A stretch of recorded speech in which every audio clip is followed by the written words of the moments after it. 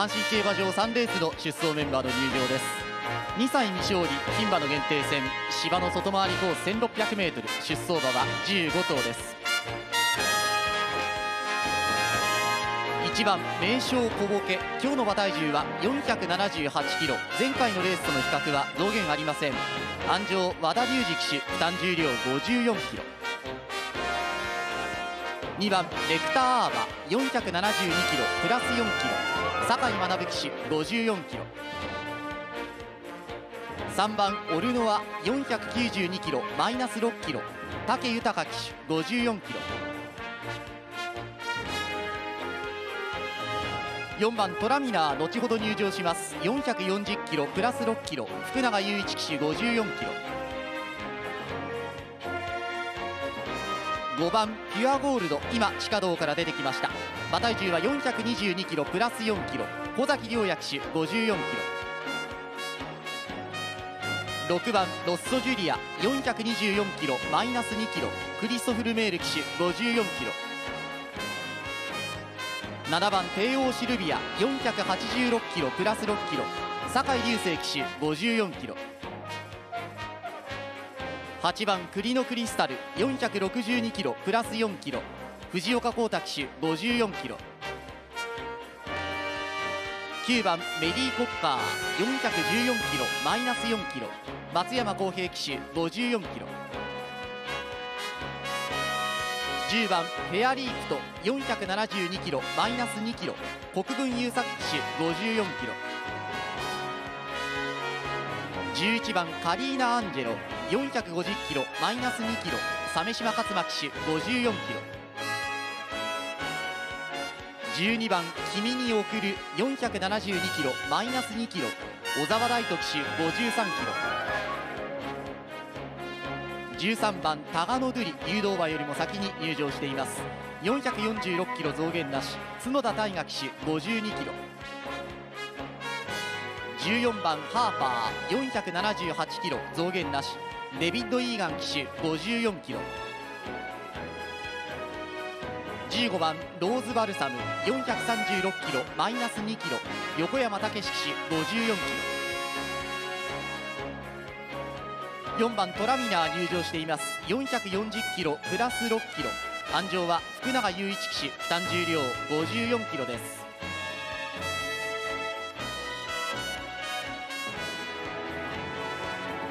冬の日差しを受けて15頭がこれからレースに臨みます。阪神競馬場3レース2歳未勝利牝馬の限定戦。スタートまでしばらくお待ちください。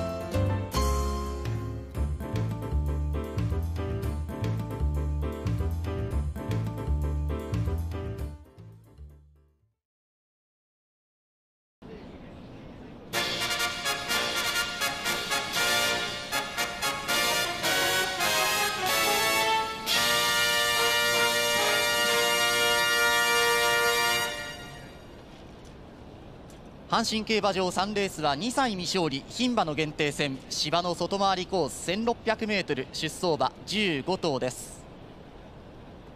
先週はこの舞台で2歳牝馬の頂点を決める戦いが繰り広げられました。今日は朝日杯フューチュリティステークス。それと同じ距離同じコースの3レース2歳の未勝利戦です。連続開催の阪神競馬場。芝コースは B コースが使われています。内柵を3メートル。外側に出しての B コース。15番のローズバルサも収まりました。15頭。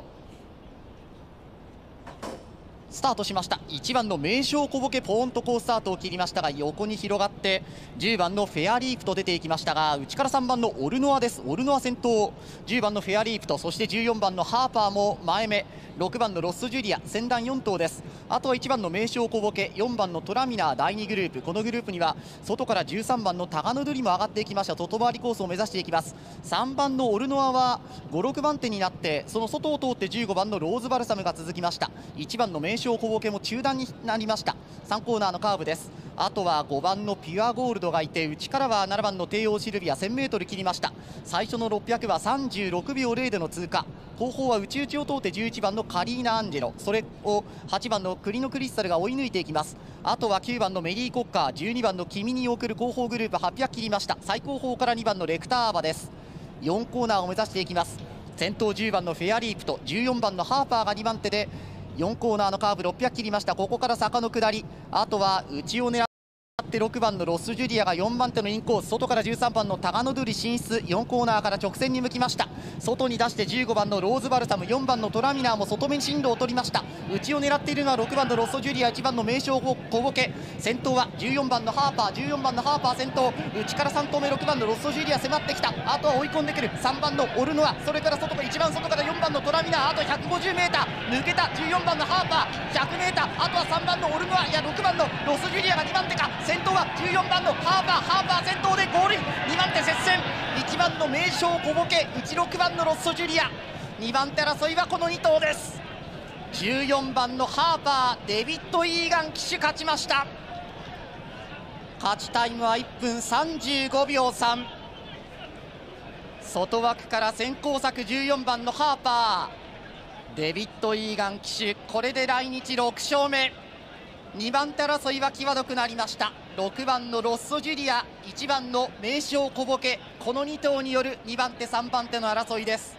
勝ちタイムは1分35秒3上がりゴールまでの 800m は46秒 7600m は34秒5でした。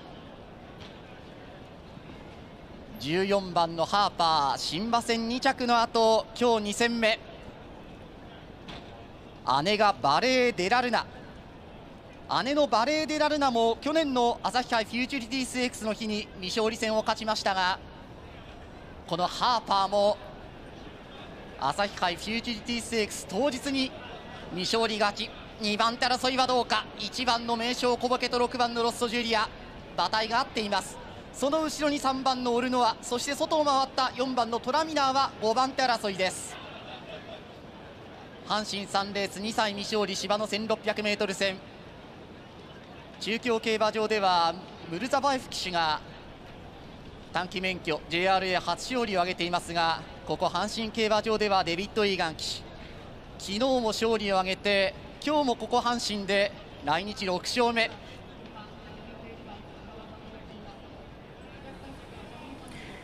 阪神3レースが終わりました。そうですね。お姉さんはダートの 1800m 戦を勝ち上がってというところだったんですがこの妹ハーパーは芝のマイル 1600m 戦が初勝利となりました。2戦目での初勝利。